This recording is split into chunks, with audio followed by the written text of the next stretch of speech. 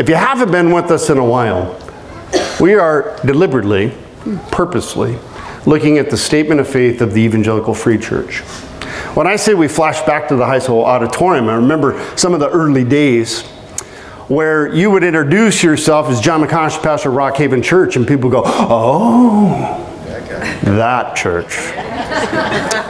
that church meant those goofy people that met in the school, those goofy people that didn't even have a building. They met and their office was, well, first in my bedroom. Right? You should have seen the look on the guy's face when he delivered the copier machine to our bedroom.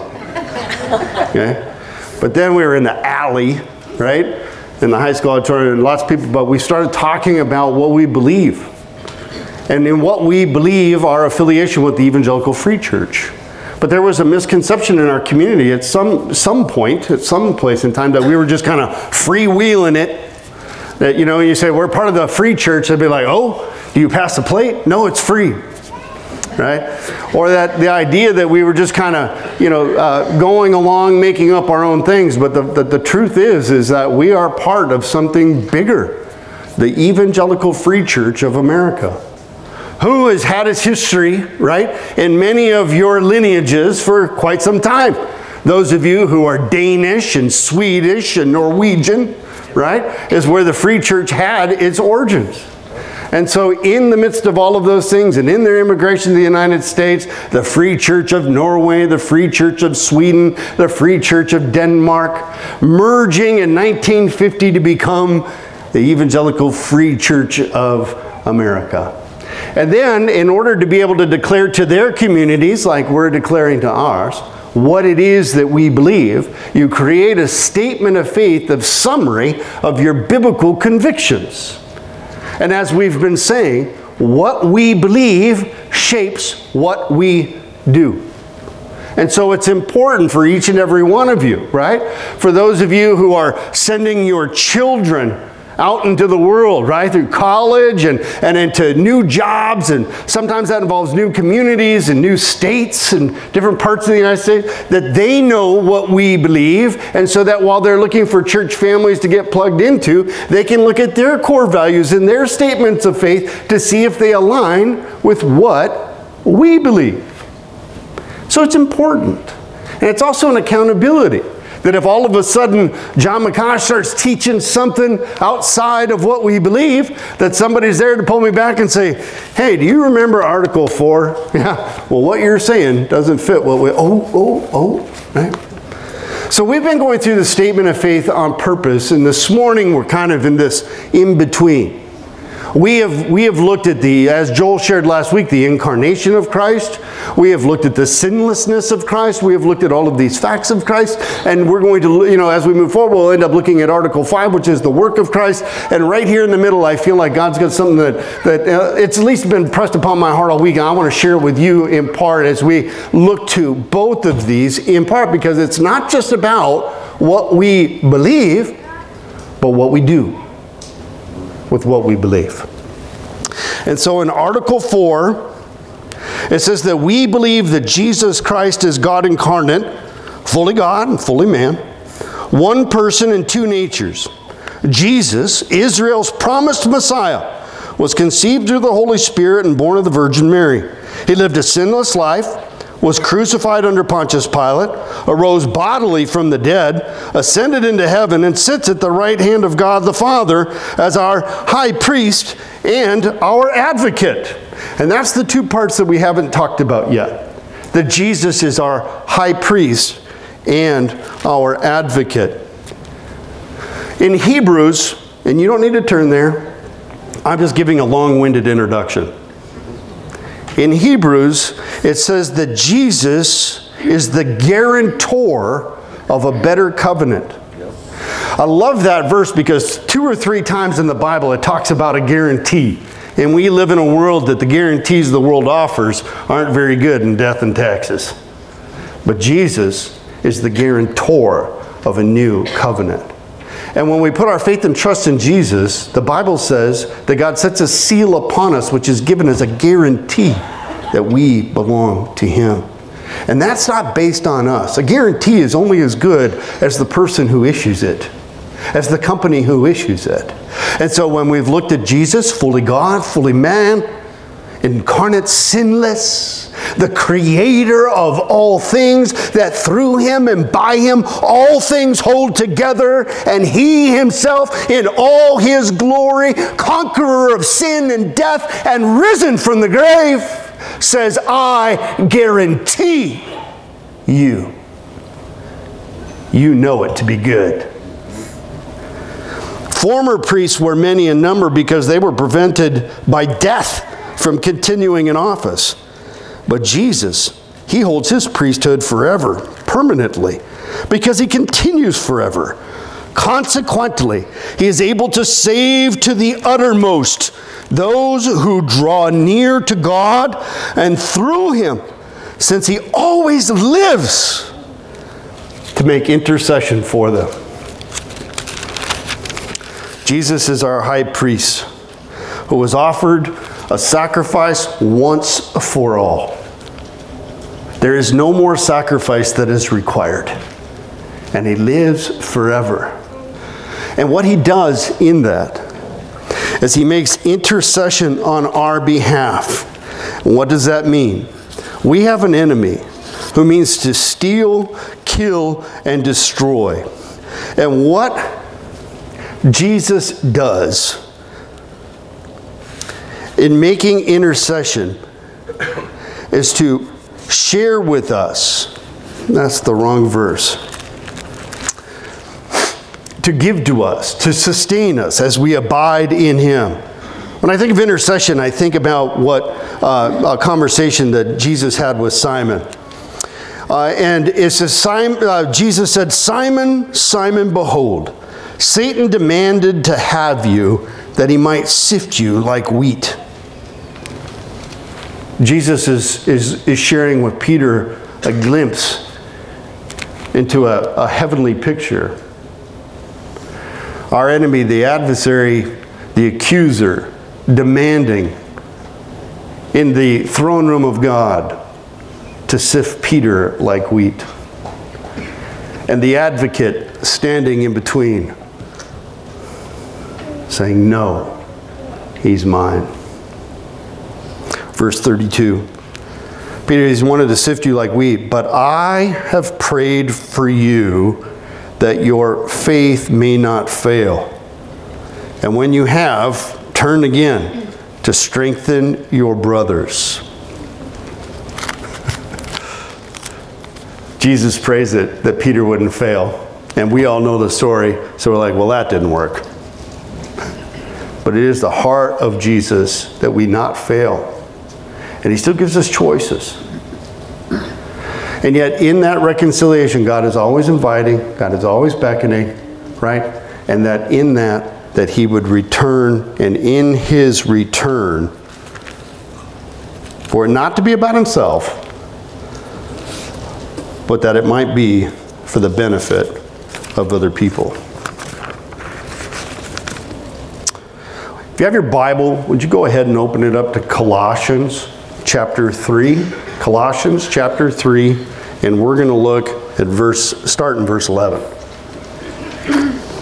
Colossians chapter 3, we're going to begin in verse 11.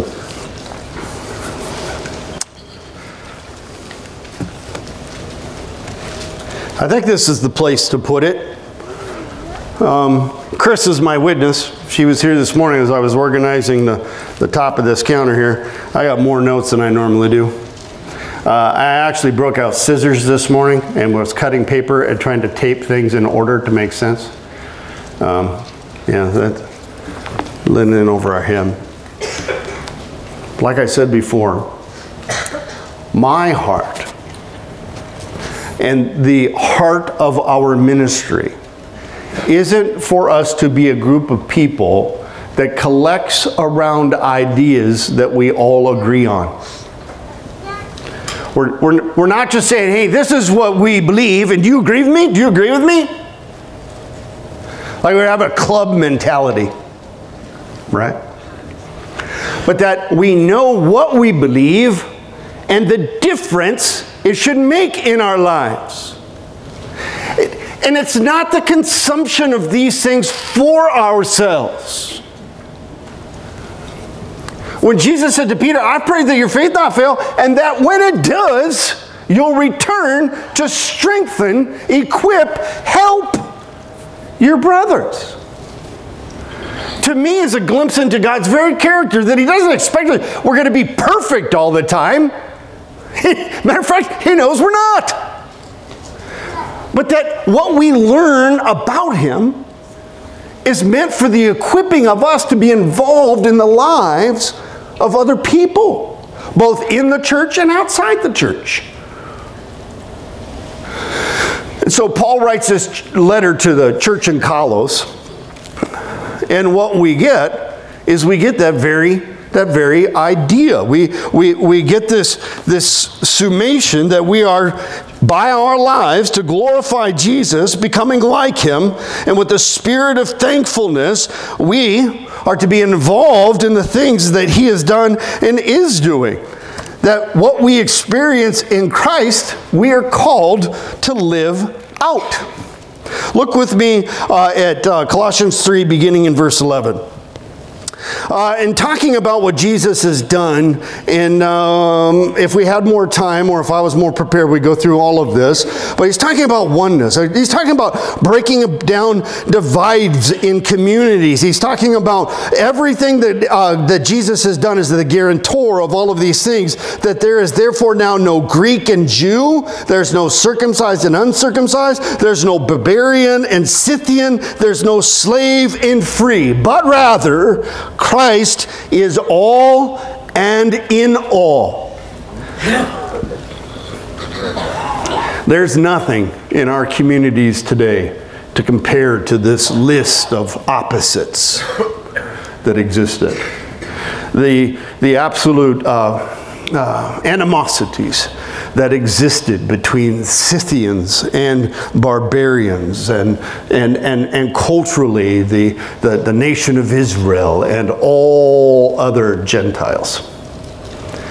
Jesus completes, brings together all these things, asking, inviting for us to see our identity not in our previous life group, not in our previous circumstances, but to see by faith our identity in Him. Then, understanding that each and every one of us, as varied as our backgrounds and how we grew up and where we grew up, and all those kind of different things, that all of that is gone and the new self is now included in Christ. And then He is all and in all. Just that one little point. we, we live in a world today that is wrestling with all kinds of identity issues. Right?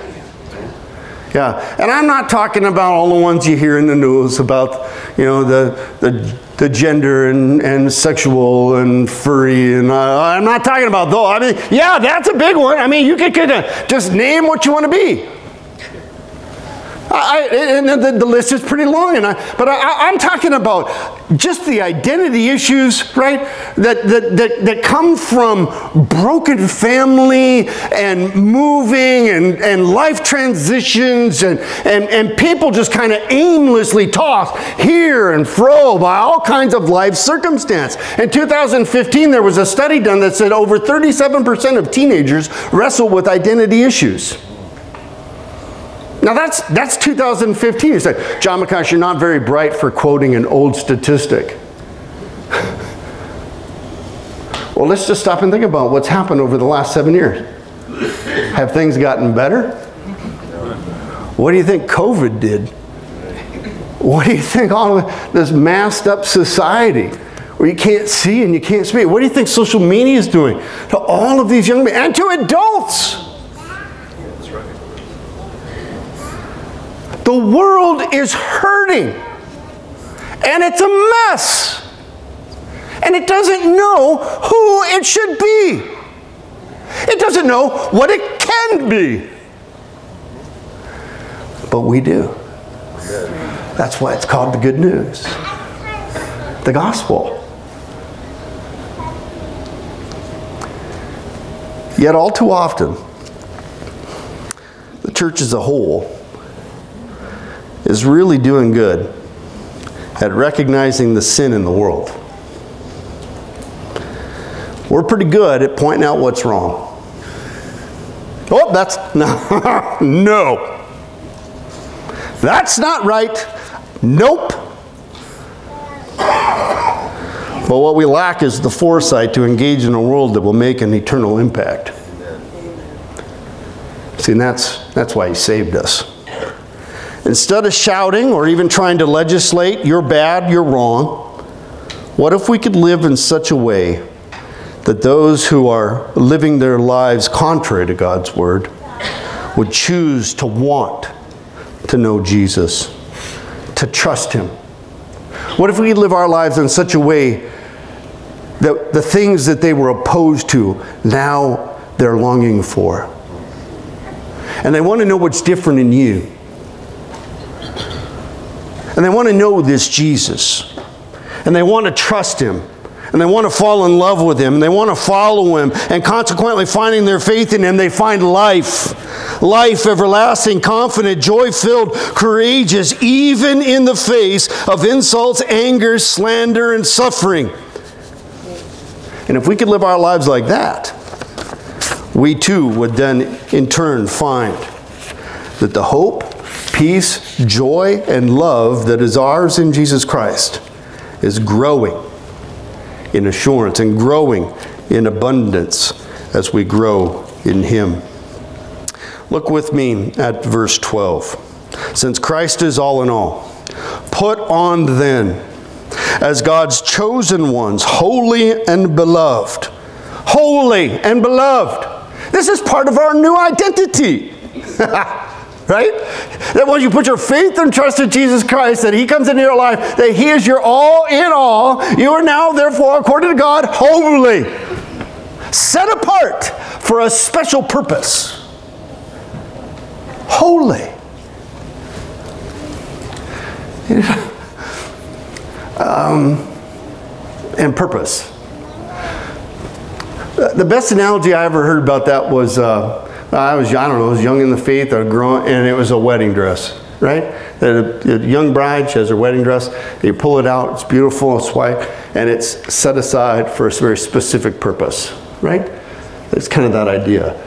That, that, that God has set us apart from the world, yet not to be isolated, not to be left un, untouched, unused, unpurposed, but set us aside for a very intended purpose to use us. To use us. And in remaining holy. Beloved. We are holy and we are beloved. What kind of love? What is the Father loved on us? He has loved us with the exact same love of God the Father has for God the Son. That's enough for one week. You just ponder that. Just soak that in. The eternal, profound, and powerful love of God. We're supposed to do something with that. We've been set aside, we've been purposed, we've been given a new identity, we're holy and we're beloved. Then, therefore, put on those clothes that match that identity. That's what it is. Put on the clothes that match the job that's set before you. Right? And so he says, he goes on in verse 12, he says, put on compassionate hearts, kindness, humility, meekness, and patience bearing with one another, and if anyone has complained against another, forgiving each other. As the Lord has forgiven you, so also you must forgive. Above all these things, put on love, which binds everything together in perfect harmony. And let the peace of Christ rule in your hearts, to which indeed you were called. And be thankful. Be thankful pastors love to go through in their sermons, right? When we find lists, you find a list. Put on compassionate hearts, kindness, meekness, love, peace. And then what they do is they break that list apart and then they spend all kinds of time telling you about what compassionate hearts or meekness or kindness mean in Greek and Latin words. You know what? I think you're smarter than that. Compassion, love, meekness, kindness. We don't need a dictionary to know that those things are good. right? Those are good. And we're the recipients of those things. Right? Should we go through the list of some of the opposites? What's the opposite of kindness? Do you, do you want to be encountered with the opposite of kindness? No. If you, we, we, want to, we want to engage with people who are compassionate and kind and merciful and loving, and, and, and, and we know what that is. And we're so very thankful that God has done that for us, that that's how He engages us right? When we look at Jesus, the author and perfecter of our faith, when we look at Jesus, our good shepherd, when we look at Jesus, the Lord and Savior of our lives, when we look to Jesus in all of these things, we see these perfected. Compassion to the nth. Kindness to the nth. Patience, oh man, just in John McCosh's life. Right? Yes. We don't need a dictionary to know that these are so very good. But what we do need is a reminder that the good things that we are given by, in, from the Lord are not intended for our consumption, but are intended for our stewardship to share in the lives of other people. Did you notice that in putting on the compassion, the kindness, the humility, the meekness, the patience, that those are the clothes that we're putting on, right, since, since our Savior wears them. We're putting those on because we're His. Because we're, we're little. We're like Him. We're His kids. Those are, those are the family clothes right? And then we're to conduct ourselves in a certain way, bearing with one another. That's what you guys do with me. You bear with me. You put up with me. We work together and you're like, ah, oh, it's just John. right? It's not the way the world wants to define tolerate. Bearing with one another is recognizing, right, that we each have gifts, skills, and talents, and that we're each called to do certain things in His kingdom. Bearing with one another is recognizing that we have strengths and weaknesses, and none of that's a threat to Jesus. Bearing with one another is the mindset of the believer that says, In my life and in the lives of others, I will always leave room for the work of Jesus Christ. I can't very well demand perfection of you. Right? Unless I myself am perfect. God is perfect. He demands perfection of us. But amidst one another, we have to realize that we're all growing. And when we're growing, like toddlers, we're going to outgrow our britches the same times we're stumbling and falling. But God's given us compassion and kindness and humility and meekness and patience to bear with each other. And you know what you need if you're going to bear with each other? The ability to forgive one another. Right? And that's a big one. It's not just that we're called to forgive each other, as it says in verse 13, but the, the bar is set pretty high. Says you're supposed to forgive each other just like the Lord has forgiven you. Well, that's a biggie. That's a biggie. How is, how is Jesus forgiven us? And you say, well, he's forgiven us completely, perfectly, eternally. Uh, I hear my personal favorite, and in advance. right? You know, he forgave me before I ever knew I needed forgiven. Yeah. Right?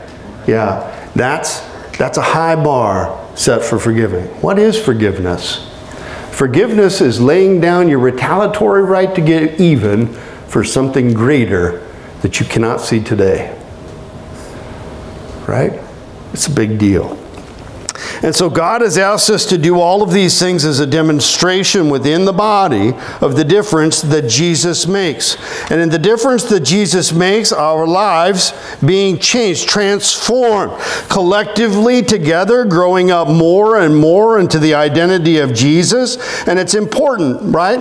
Like we said before, that the world that's having this identity crisis at least be able to see that, hey, in light of what God's done for us, we're growing. And we're growing individually, we're growing collectively, and collectively as a church family. The things that mark us as different is our compassion and our kindness, our patience and our love. Peace overflows, overwhelms. And if we're smart enough to recognize that you don't need a dictionary to realize that these things are good, the world recognizes that these things are so very good, but they have objections.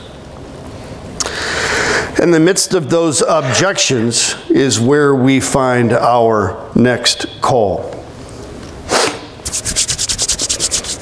Okay.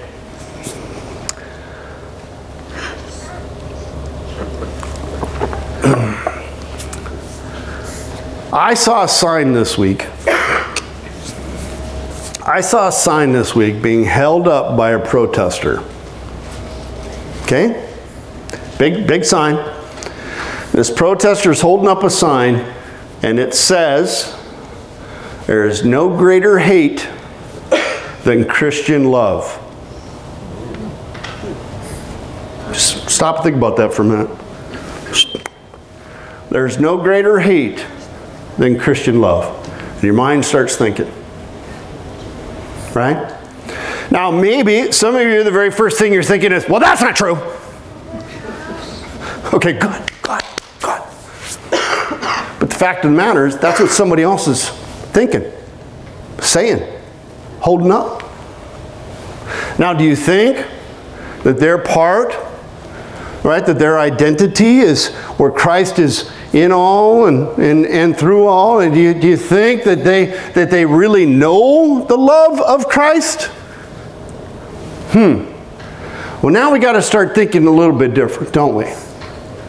Because as we interact and engage here, and you tell me you've put your faith and trust in Jesus Christ, and I tell you I put my faith and trust in Jesus Christ, we've got some expectations of each other of how we ought to show compassion, how we ought to forgive one another. How, I mean, Lord knows how long I've had to bear with Brad.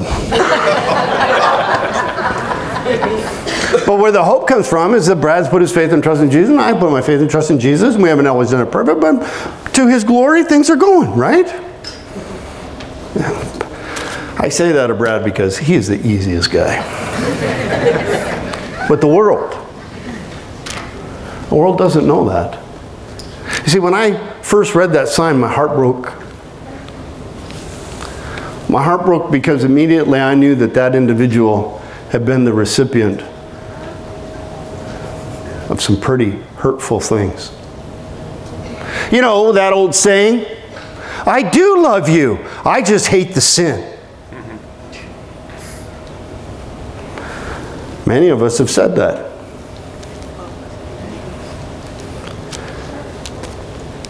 I am less worried about arguing about the Christian isms, Calvinism, Arminianism, postmillennialism, premillennialism, all of those isms, and more and more concerned about how we can engage a world who's holding up those kinds of signs.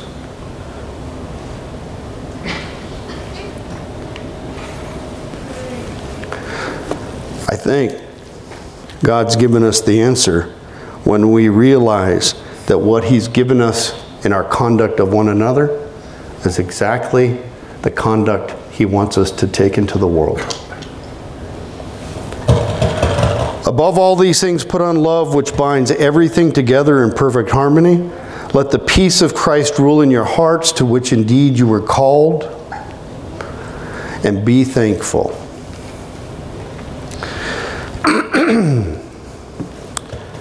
Jesus said in Luke chapter 6, if you love those who love you, what benefit is it to you? So, and I strike that too. If you're compassionate, kind, patient, and bear with one another who love you, right? Who are doing the same things, what benefit is that? That's how you're supposed to act. But I tell you the truth, Even sinners love those who love them. And if you do good to those who do good to you, what benefit is it to you? For even sinners do the same. And if you lend to those for whom you expect to receive, what credit is it to you? For even sinners give back to sinners the same amount. But I say, love your enemies and do good and lend and expect nothing in return, and your reward will be great, and you will be sons of the Most High. Be merciful as your heavenly Father is merciful. When we look to Jesus, the author and perfecter of our faith, we don't look to just see the facts of who he is. The facts are what we've been looking at. The facts are recorded for us. The, the life he has lived is the life that he calls each and every one of us to live.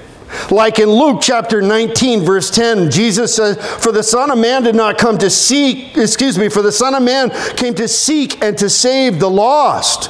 Or in Mark chapter 10, verse 45, For even the Son of Man came not to be served, but to serve. And in Mark chapter 10, verse 45, the second half of that, to serve and to give his life a ransom for many.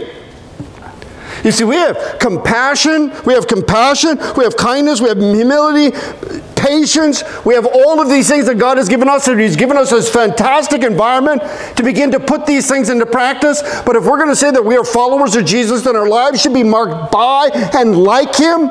So we too are called to seek and to serve and to sacrifice. Someone said to me, I shared this idea. I shared this idea earlier in the week. I said, wow, he didn't just come to seek. He, keep, he came to seek and save. I was like, yes, he did. Ladies and gentlemen, I hate to burst your bubble, but there ain't anybody in the room right here that can save a soul. Right, There ain't a single one of us that has the power to rescue a soul from the kingdom of darkness to the kingdom of light. There isn't any one of us that has the ability, the knowledge, or wherewithal to be able to rescue from the depths of a person's inner being all of their demons and slay them and transfer them into the kingdom of light. That belongs to one person. Amen. That's Jesus. Okay, so let's leave the saving up to Him. Well, then, what's the part we can do? We can seek. What's seeking? Well, that's compassion.